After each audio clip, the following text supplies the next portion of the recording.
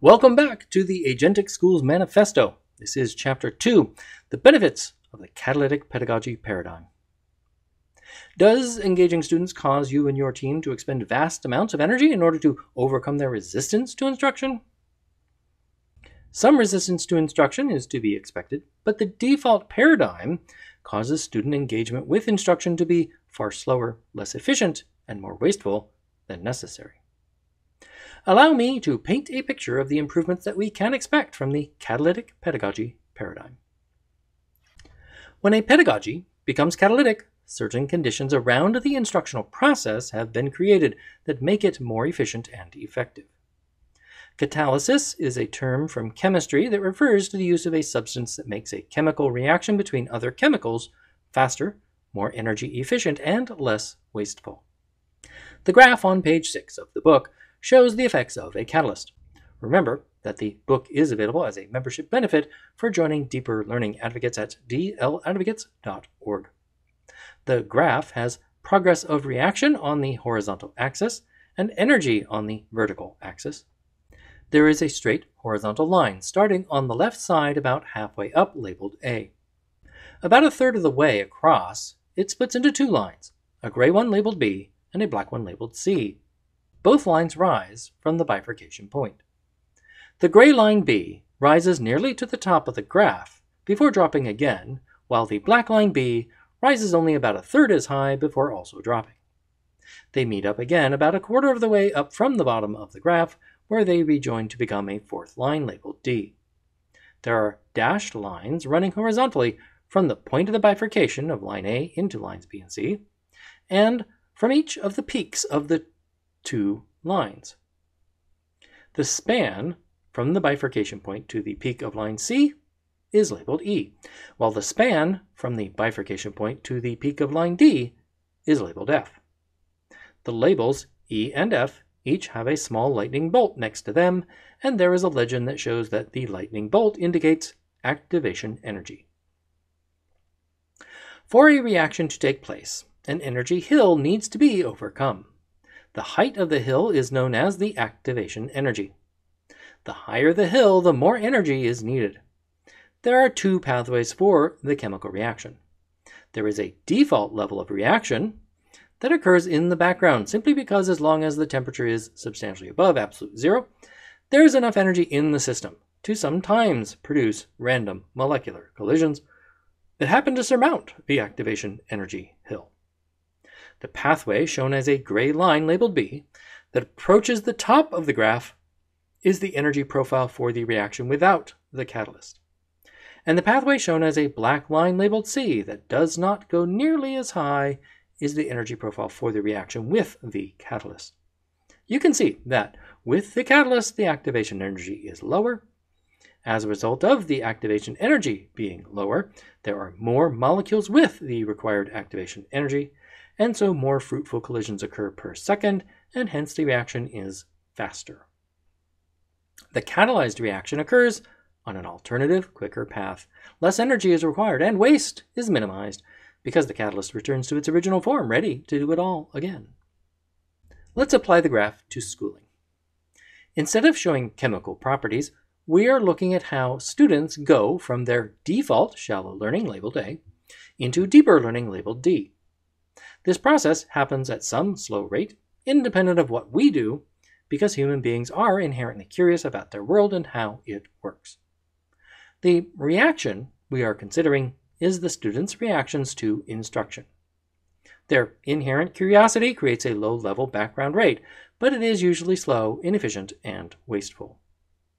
So, applying this idea to pedagogy, we can look at those three key aspects of children's reactions to instruction activation energy, efficiency, and waste products in the same graph on page 6. The pathway depicted as a gray line labeled B is showing us the activation energy labeled E, which is the amount required under the default paradigm. The pathway depicted as a black line labeled C shows us the activation energy labeled F, which is required with catalytic pedagogy, which is going to result in different rates of energy consumption, efficiency, and waste. Let's start and end with waste. The most important waste to consider in education comes from the epidemic of disengagement that has been well documented in both schools and the workplace, even though it gets very little attention in the media. For instance, according to Gallup, 70% of teachers report being disengaged. Based on a combination of expert estimations and direct surveys, we can be confident that students are also disengaged at a rate anywhere from 50 to 70%. It is not a stretch to assume that the habits learned in school have an effect on later workplace patterns. If the pattern carries over, then it makes sense of the fact that Gallup reports that the average rate of disengagement in the workplace globally is 85%. Gallup estimates that the 85% rate of workplace disengagement is costing about $7 trillion per year. That is a significant magnitude of waste. Plus, a 2015 report from the Carnegie Foundation called Motivation Matters pointed out that in schools in the USA there is an engagement gap, just like there is an achievement gap between minority and majority students. They also noted that the engagement gap is the more solvable problem of the two. Next, we want to consider activation energy, which I take to be the role of motivation. In reviewing prior studies for my thesis, I discovered that about 30 years of research in mainstream schools found that the intrinsic motivation and engagement of students declined within each year and over the course of the years through high school graduation. The preferable term for the entire group of the less desirable, more external motivations is controlled. So I take it that mainstream schooling produces a lot of controlled motivations. My published thesis research was focused on the patterns of intrinsic motivation for students in two schools where instruction is an opt in for students.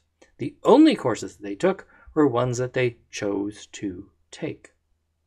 It should come as no surprise that when children actively choose to take a class, they have a better chance of engaging more productively with it. What I found was that these schools maintain the intrinsic motivation of their students across the years, which is consistent with a few other studies of engagement in similarly alternative schools. While my thesis was focused on intrinsic motivation, the entire group of more desirable internal motivations is called autonomous. These schools support autonomous motivations in their students by being organized to give children the opportunity to opt into classes. This means the instructors expend much less energy getting students activated for making productive use of the instruction they receive. The instructional collisions that occur are more productive. Putting it this way makes an important distinction between productive and unproductive instructional interactions. Just because a student has an instructional interaction with an instructor in a classroom does not mean that it was an educationally productive incident. When the teacher gives students a passing grade just for having an interaction, that prevents us from telling the difference between productive and unproductive interactions. When grades and test scores reflect educationally unproductive interactions, I call that faux achievement or fake achievement. I've never met anyone who was successful as a student in mainstream classrooms in terms of test scores and or grades who did not agree that at least part of the time their success depended on jumping through the hoops or just going through the motions without deeply learning the lessons taught. This is the main reason that the age segregation of children is a dubious practice educationally. There's no reason to believe that a student's age, compared to their motivation, is more than trivially important to effective instruction. Now we consider efficiency. In this case, you need to know that the state of Massachusetts compels children in the first through sixth grades to attend 180 days of school each year. Let's estimate that they will receive about an hour of math instruction per day for those six years, which means that those state public schools expect to take somewhere near a thousand hours to deliver that math curriculum.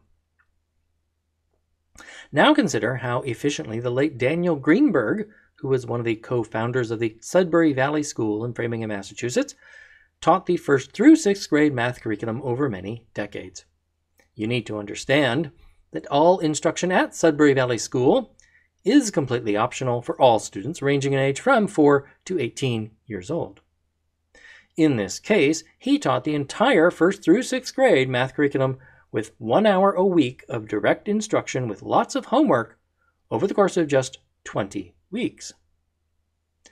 He accomplished in 20 hours what the state of Massachusetts expected to take around a thousand.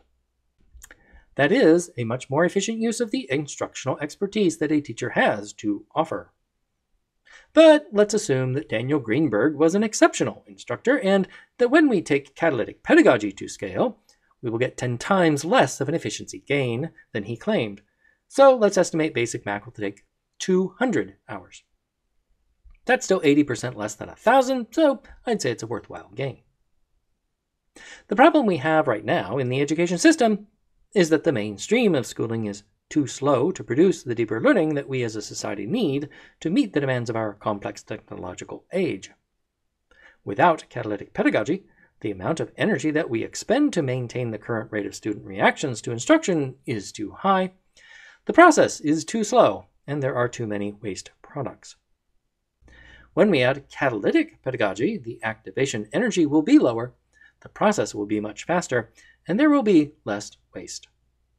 I don't really know how much of the $7 trillion that Gallup estimates we are losing to workforce disengagement will be eliminated.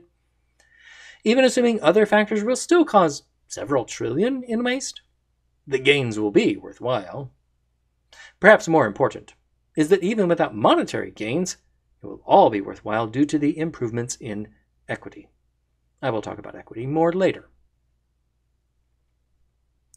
So, to clarify, the whole phrase catalytic pedagogy refers to the context surrounding instruction that schools use to produce more autonomous motivations and to more fully engage their students and teachers in instruction.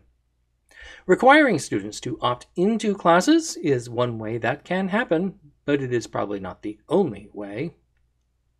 It would be disappointing if my proposals cannot accommodate the tens of millions of children that are currently being harmed by the mainstream model of schooling. Next, we turn our attention to ensuring that the changes we make will be effective at a large scale.